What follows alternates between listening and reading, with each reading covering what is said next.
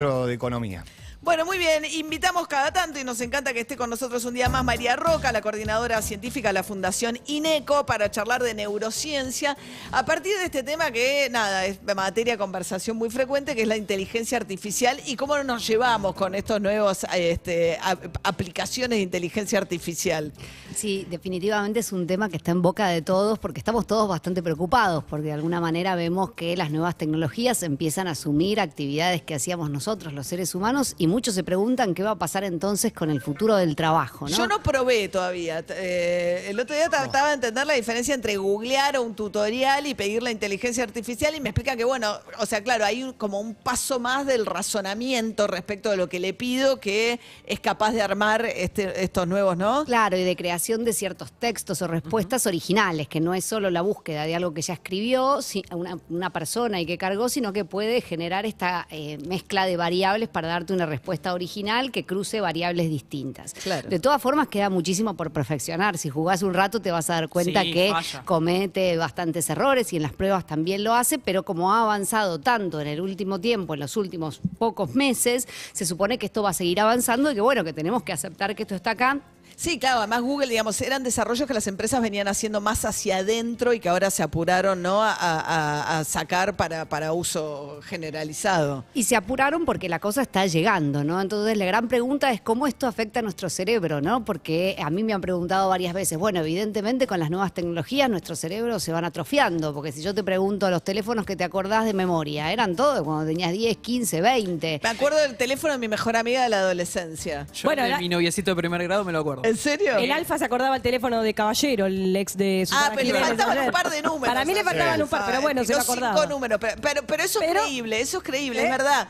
Yo no sé el de mis hijas hoy, por ejemplo. Bueno, No, yo, claro. yo siempre digo el mismo, lo mismo. Me acuerdo el de mi ex marido y el de mi marido actual no lo recuerdo. ¿Por qué? Porque Ay, cuando, qué terrible. Cuando estaba con mi ex marido todavía valía la pena guardar números de teléfono en el cerebro. Ahora no, No. los guardás en un teléfono inteligente. GPS lo mismo. Lo mismo. Las que los nombres de las calles. Todas esas habilidades van cambiando, pero esto no tiene que ver con una atrofia o con una pérdida, tiene que ver con la capacidad que tiene nuestro cerebro de adaptarse a los cambios. En nuestro cerebro no sobra lugar, no sobra energía. En general todo lo contrario, tenemos recursos limitados. Entonces, si no necesitamos el recurso para eso, lo vamos a usar para otra cosa. Entonces, cuando O sea, la idea de que se atrofia no es cierto. No, no, para No es que nada. si yo, o sea, lo uso para otra cosa. Exacto, aquellas habilidades que dejas de usar probablemente estén más oxidadas y funcionen peor, como esto de la memoria para los números de teléfono. Pero vas a desarrollar otras habilidades, ¿no? Y esto es algo que es importante destacar. El cerebro humano tiene una capacidad enorme para adaptarse a los cambios y dentro de estos cambios a las nuevas tecnologías. Entonces, más allá de lo que nos puede asustar, particularmente lo que tiene que ver con el futuro de los trabajos, con todas estas máquinas que van Sí, haciendo. bueno, están lo- haciendo pruebas para que titulen solas Sí. eh, o que redacten noticias solo. Decís, hay un choque en la Panamericana, qué sé yo, le das tres datos y que lo haga solo. Y que sola. redacten artículos científicos de opinión, por ejemplo. ¿no? Claro. El otro día vi una- en una revista de Derecho que era el primer artículo que está escrito por inteligencia artificial sin ningún tipo de intervención humana. ¿No? Entonces, eh, esta es una pregunta que se hacen en el mundo del trabajo. Hay un reporte del 2020 del Foro Económico Mundial que marca cuáles son las 10 habilidades que más se van a requerir en el futuro. ¿no? ¿Por qué? Porque vamos a tener que adaptarnos a esos cambios. O, o las que no se van a, las que se van a dejar de requerir, ¿no? Bueno, el guardado de información, la rapidez en encontrar esa información, en eso ya no le ganamos a las computadoras. No. Ninguna mente humana puede guardar la información que, que guardan las nuevas tecnologías. Entonces, ¿cuáles son las que van a sobresalir? Bueno, son bastante interesantes porque algunas tienen que ver con programación, con sistemas, con nuevas tecnologías, pero mucho tienen que ver con aquello que nos hace eh, eh, humanos, ¿no? Especialmente humanos, que tiene que ver con el pensamiento crítico, la creatividad, la innovación, la capacidad de tolerar la frustración, la capacidad de resistir al estrés, la capacidad de resiliencia, ¿no? de salir fortalecido de situaciones eh, complicadas, de liderazgo. Todas esas son las cosas que se van a requerir en los trabajos del futuro. Que no sabemos cuáles son, ¿no? No, no, dos de cada tres se dice que dos de cada tres chicos que están en la primaria van a trabajar en un trabajo que hoy no existe. Ay, Que me es- muero. Y que el 50% de los trabajadores actuales, cuéntense nosotros en, en- en esta mesa, vamos a tener que aprender nuevas habilidades para poder desarrollar nuestros trabajos. Bueno. Bueno. Ah, no sé, hasta acá Bueno, llegamos. nosotros, No, pero bueno, nosotros tenemos una profesión muy atravesada Claro. por la tecnología.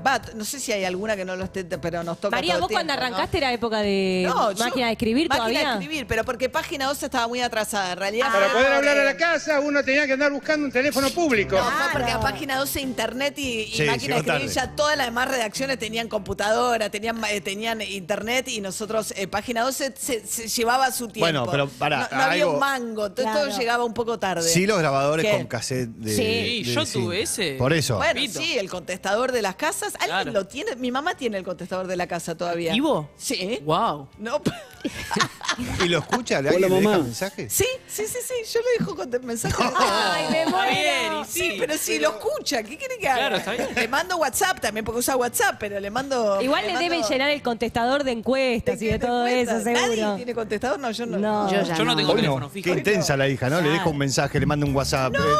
No, no, no, no, porque eh, no siempre eh, tiene el teléfono celular a mano. Entonces, cuando no la encuentro, le dejo un mensaje en la casa en el contestador. Es tan extraño lo que estoy diciendo. De hecho, es hasta raro usar el contestador Claro. del teléfono, ¿no? Sí. El teléfono que te deja mensajes, yo no sé bien quién los lo escuche. No, no, el contesta- ¿Te acuerdas que al principio los celulares sí dejabas en el, Sí. en el Sí. celular? No me dejen mensaje porque no los escucho. Hace, yo no, El claro. que te deja un mensaje en el celular es alguien al que no lo abrazaron de chico. Mandó No, un claro. mensaje, no sé, sé yo. Bueno, María Roca, muchas gracias. Un ¿eh? placer como siempre.